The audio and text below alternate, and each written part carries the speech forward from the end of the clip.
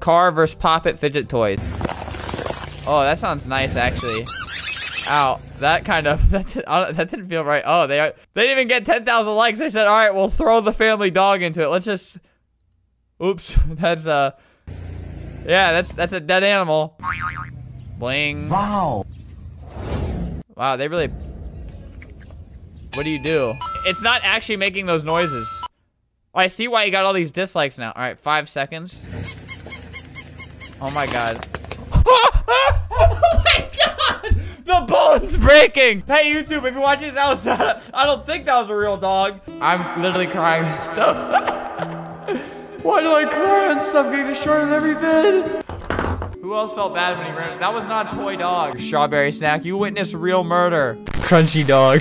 Dude, I have hit an armadillo with my car before. It did not make that noise. And I he didn't run over his Pop Its. Wait, wait, this is a Pop It. What do you mean experiment car? What do you mean by experiment car? All right, guys. I have a funny little experiment. Uh, watch this. All right, now let's try, let's see what Pop It